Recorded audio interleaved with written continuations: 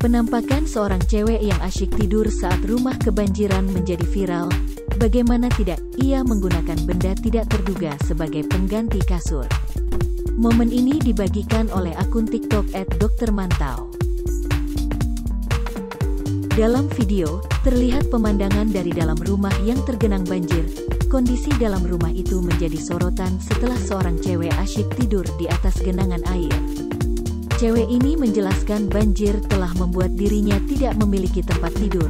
Pasalnya, semua tempat tidurnya sudah basah terkena air. Tak kehilangan akal, cewek ini tidur dengan menggunakan kolam renang plastik untuk anak-anak. Kolam renang plastik itu dijadikan kasur yang dilengkapi bantal dan guling. Cewek ini lantas asyik tiduran di dalam kolam renang plastik tersebut. Meski seisi rumahnya kebanjiran, namun ia tetap bisa tidur tanpa perlu pindah ke tempat lain. Pemandangan banjir itu sendiri begitu memilukan karena mengganggu aktivitas warga. Namun, warganet banyak yang mengaku ingin tertawa karena melihat kreativitas cewek itu demi bisa tidur. Walau begitu, tak sedikit warganet yang memberikan dukungan kepada cewek itu dan berharap bencana banjir segera berakhir.